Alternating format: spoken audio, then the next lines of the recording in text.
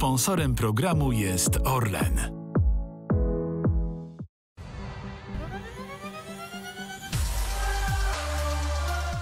Dalekich lotów polskim skoczkom życzy firma Blachotrapez, dystrybutor systemów fotowoltaicznych Revolt Energy. Razem sięgamy nieba!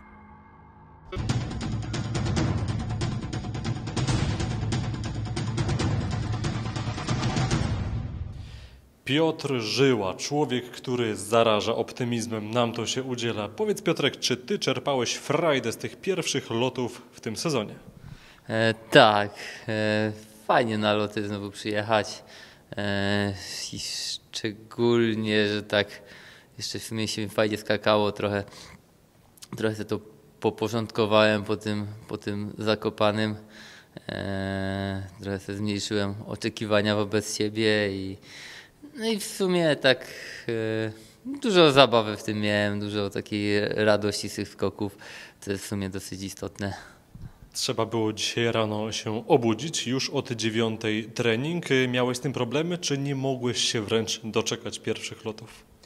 Nie, raczej, raczej na spokojnie w sumie. Tak jakby, no to, że wstać, no to zawsze wstaję, także to żadna, żadna nowość do mnie. A czy doczekać? Też nie. Raczej, raczej po prostu e, zrobiłem sobie to tak bardziej na spokojnie. W sensie skacze się wtedy, co się skacze, a nie, a nie tam, e, nie wiem, już muszę skoczyć czy, czy, czy, czy coś, tylko po prostu e, robię swoją robotę, a jak dają zielone światło, no to się jedzie i, i tyle. Dwa skoki treningowe, przerwa, dwa skoki konkursowe. Nabierałeś luzu, trochę pewności siebie?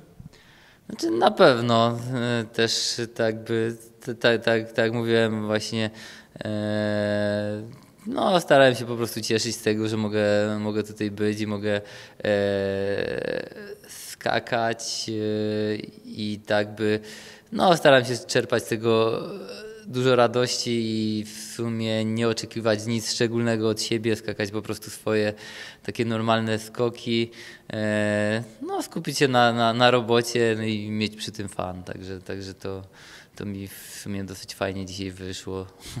Musimy Państwu kulisy zdradzić. Jeżeli Piotrkowi Żyle uda się skok, to trzeba uważać tam za bramką, za exit gate'em, bo można zostać staranowanym. To jest moment na rozładowanie emocji, kiedy wskakujesz na kolejne osoby? No nie wiem, tak, tak jakoś wychodzi, nie wiem, to jest tak, tak fajnie mam wtedy dużo energii. No i tak, no, a nie, fajnie, fajnie, tak, tak. E, no, gdzieś tak by sobie to tak faktycznie na spokojnie, a po, a po skoku no to jest takie właśnie, jak wejdzie jeszcze taka dodatkowa, dodatkowa dawka takiej dobrej, fajnej adrenaliny i no i to jest fajne.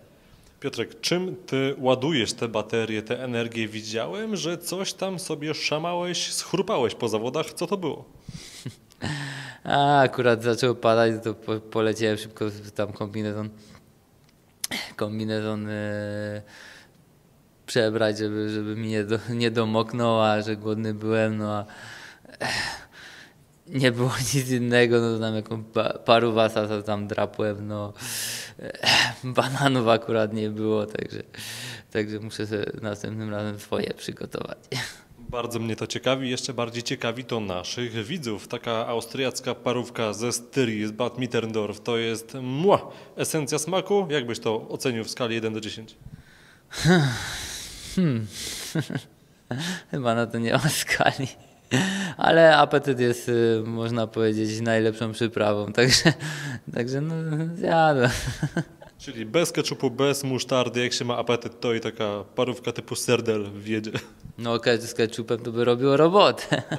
A jakby bułkę dali jeszcze? Oj, oj, znaczy były tam gdzieś, ale, ale ja tak, tak jak mówię, nie miałem za bardzo czasu, tylko po prostu drapłem paru wasa, no i, no i tyle, no, ale no to tak e, w sumie kolacja dopiero, dopiero 19 to co zrobić, no trzeba było coś przegryźć. Dziękuję, smacznego. Dzięki.